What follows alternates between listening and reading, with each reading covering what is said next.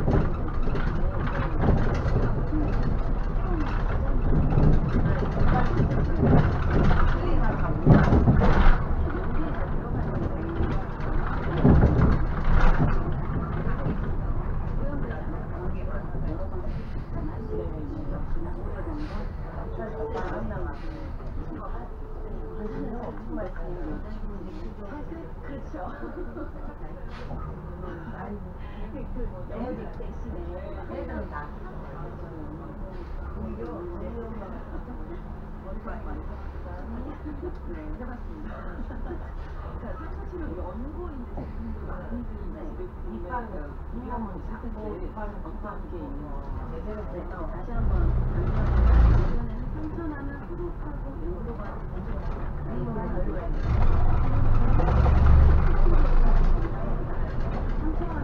하면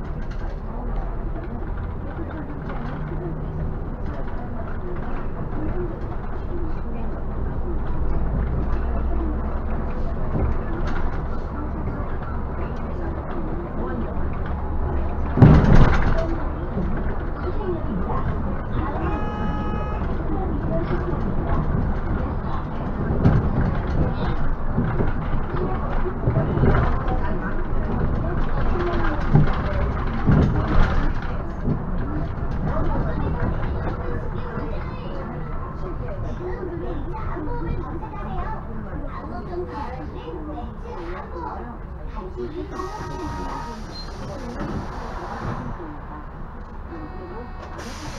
you.